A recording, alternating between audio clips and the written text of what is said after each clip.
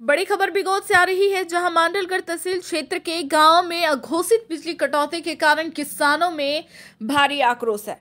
भारतीय किसान संघ तहसील अध्यक्ष श्यामलाल सुथार ने बताया कि इन दिनों खेतों पर फ़सल पिलाई का काम चल रहा है, लेकिन विभाग की मनमानी के चलते बिजली कई घंटों बंद रहने के कारण खेतों में काम पूरा नहीं हो पाता है। सरकार द्वारा किसानों को दिन में पाँच घंटे बिजली देने का प्रावधान है, लेकिन बिजली कर्मचारियों द्वारा बार बार बिजली काट देते हैं। कोई पुख्ता जानकारी नहीं देते। कई घंटों तक खेतों पर बिजली आने का इंतज़ार करना पड़ता है। गत सात दिनों से बिजली की कटौती का समय निर्धारित नहीं होने से ना तो सिंचाई हो पाती, ना ही घर का काम हो पाता है।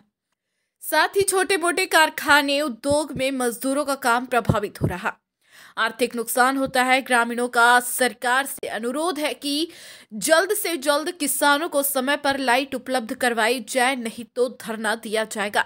समय पर लाइट नहीं मिलने के कारण किसानों ने आज यहाँ ट्रांसफार्मर के पास विरोध प्रदर्शन किया, जिसमें तहसील अध्यक्ष श्यामलाल सुथार, बाबूलाल कुमावत धन्नालाल तेली, कालूराम, देवकिशन गुज्जर आदि मौजूद थे।